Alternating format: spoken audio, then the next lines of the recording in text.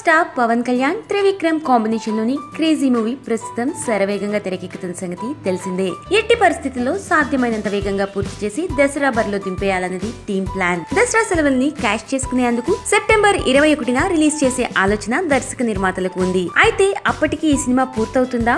పక్కాగా అన్నది తేలలేదు ఇంకా రిలీజ్ తేదీ ఫలానా అని ప్రకటించాకే టైటిల్ నిర్ణయించాలని పవర్ స్టార్ ఇటీవరకి దర్శక నిర్మాతలకు ఆర్డర్ వేశారు. అయితే ఇప్పుడు పవన్ ఇరవై ఐదో సినిమా రిలీజ్ తేదీ డైనమా? స్పైడర్ రిలీజ్కి అడ్డంకిగా మారిందట. పవన్ రిలీజ్ని బట్టి స్పైడర్ రిలీజ్ ప్లాన్ చేయాలన్నది ఆ టీం ఆలోచన. వాస్తవానికి సెప్టెంబర్ ఇరవై ఏడున స్పైడర్ రిలీజ్ అంటూ ఇటువరకే ప్రచారమైంది. అయితే అదే తేదీకి రావాలా? లేక ఇంకో వారం ముందే వస్తే బాగుంటుందా? అన్న డైలమా ఉంది. పవన్ సినిమా సెప్టెంబర్ ఇరవై ఒకటిన రాకుండా వాయిదా వెళ్తే తప్పకుండా ఆ తేదీని లాక్ చేసేందుకు స్పైడర్ టీం కాపు కాసుకుని కూర్చుందట. ప్రస్తుతం పవన్ సినిమా శరవేగంగా చిత్రీకరణ జరుపుకుంటోంది. రిలీజ్ డైలమా కొనసాగుతోంది. ఇది స్పైడర్ రిలీజ్కి ఆటంకంగానే మారింది. ఇకపోతే స్పైడర్ చిత్రాన్ని కోలీవుడ్ బాలీవుడ్లో ఖచ్చితంగా సెప్టెంబర్ ఇరవై ఒకటిన రిలీజ్ చేస్తేనే బాగుంటుందని ట్రేడ్ వర్గాలు చెప్తున్నాయి. అక్కడ సెప్టెంబర్ ఇరవై ఏడున టఫ్ కాంపిటీషన్ ఉండబోతుందట. అంటే సెప్టెంబర్ ఇరవై ఒకటికే తెలుగులోనూ రావాల్సి ఉంటుంది.